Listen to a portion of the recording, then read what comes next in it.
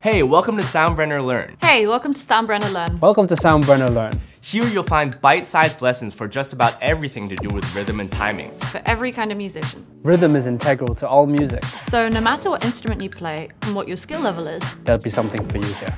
I'm Nate, and I'm a cross-genre drummer and composer. I'm Vita. I'm an organist, pianist, turned singer-songwriter. I'm Gerald, and I'm a keyboard player, bass player, composer, producer. This program has been specially curated by us as music educators, band leaders, sidemen, and lifelong learners. You'll find four sections of videos. You'll learn the theory behind rhythm and the fundamentals of rhythm. Then we'll move off the page to talk about rhythm in context and musicality in practice. And then we have an awesome section with guided rhythm exercises that you can do with or without an instrument.